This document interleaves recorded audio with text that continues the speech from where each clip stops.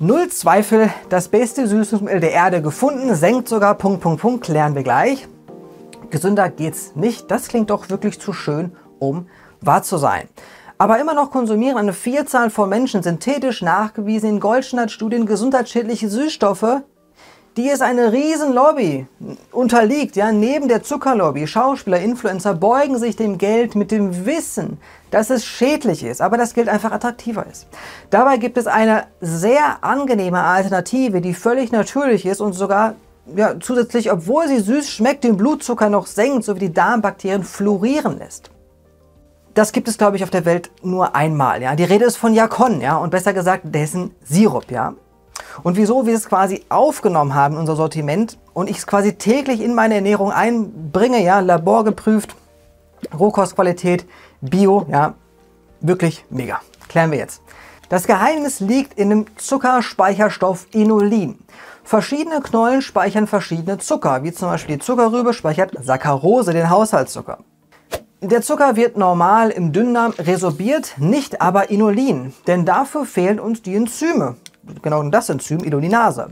Daher wandert es einfach in den Dickdarm. Dort wird es den guten Bakterien zum Fraß vorgeworfen und diese stürzen sich beglückt auf den Zucker Inulin. Dies resultiert in einer Absenkung des Darm-pH-Wertes da sie den Zucker fermentieren und kurzkettige Fettsäuren bilden. Wichtig, nur ein saurer Darm ist ein gesunder Darm. Daher heißt es auch Sauerkraut, ja, da dort Säure entsteht ja, beim Heranwachsen von guten Milchsäurebakterien.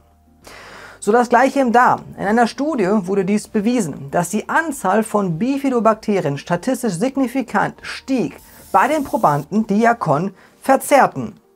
Da sollte man langsam anfangen und den Verzehr dann steigern, da die Bakterien mit der Zeit weiter gedeihen werden, die dieses Inulin quasi fermentieren können. In einer Goldstandard-Studie, die im Crossover-Design war, das heißt Placebo und die Interventionsgruppen wurden nach einer Woche getauscht und die Studie wiederholt. Gegeben wurde 40 ml Jakonsirup zum Frühstück und die anderen haben auch gefrühstückt, aber halt ohne Jakonsirup. So. Es wurden gesunden wie auch separiert Übergewichtige inkludiert wir sehen oben Blutglukosespiegel und den Insulinspiegel.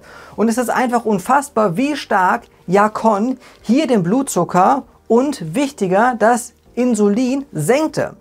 Der Grund, wieso ich mich damals von synthetischen Süßstoffen distanziert habe, liegt darin, dass diese entgiftet werden müssen. Es sind Fremdstoffe und für den Körper sogenannte auch Xenobiotika sind sie genannt. Und würden so in der Natur niemals vorkommen und damit hätten wir auch nie Weise zu tun gehabt. Daher müssen wir sie entgiften und das beansprucht natürlich wieder das körperwichtigste Antioxidant, das Glutathion. Und da es entgiftet werden muss, ja. So. Dazu verdichten sich immer mehr Publikationen, zum Beispiel zu Sucralose, dem häufigst verwendeten synthetischen Süßstoff. Und das in einigen menschlichen Goldstandardstudien Sucralose erhöhte statistisch signifikant den Blutzucker, wie auch das Insulin bei gleichen Kalorien in der Placebo-Gruppe, was ich zutiefst erschreckend und alarmierend finde. Das ist kein Einzelschicksal von humanen Goldstandardstudien. Auch hier ne, seht ihr das, den gleichen Trend. Da hatte ich immer nach einer Alternative gesucht und diese scheint mir ein nicht zu vergleichendes Level besser zu sein. Ja? So, es gibt noch eine wesentliche weitere humane, randomisierte, placebo-kontrollierte Goldstandard-Studie zum Thema Abnehmen, Darmgesundheit und Jakon. Wie wir unschwer erkennen können, senkte die Jakon-Gruppe die Fettmasse, Umfänge am Körper sowie, die, sowie das Gesamtgewicht statistisch signifikant im Vergleich zur Placebo-Gruppe, die kein Jakon konsumierte. Das bei nur 25 Gramm am Tag über sechs Wochen ohne Interessenskonflikte im Goldstandard-Format ist schon eine tolle Publikation. Wichtig hier ist in der Woche hatten ja einige Blähungen, ja, die dann aber bereits nach zwei Wochen abnahmen. Unter Ende gab es keine Unterschiede mehr zur Placebo-Gruppe, da die Darmbakterien sich so positiv entwickelt haben, dass sich die Nahrung ja, in Form von Fructooligosacchαρiden ja, aus den Jakon sehr gut verdauen konnten. Ja. Und schauen wir uns noch eine weitere Goldstandard-Studie mit Übergewichtigen an. Diese habe ich mit reingenommen, denn es betrifft nun mal 66 Prozent aller deutschen Bürger. Gerade diese Gruppe profitiert nochmal sehr stark davon. denn so gut wie jeder hat einige Stellen am Körper, die besser sein könnten. Also gut aufgepasst, am Ende gibt es auch noch einen Rabatt zum Sparen. Ja? Aber vorher die Studie. In der doppelblinden Studie waren die Gruppen vorher perfekt miteinander vergleichbar. Keine signifikanten Unterschiede. Wir sehen, dass die Jakon-Gruppe nach vier Monaten ja, 15 Kilo verloren hatten. Ja, die Placebo-Gruppe so gut wie gar nichts.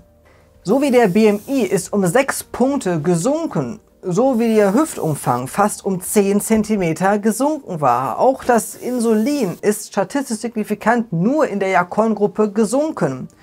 So wie das LDL-Cholesterin sank, ja, statistisch signifikant nur in der Jakon-Gruppe.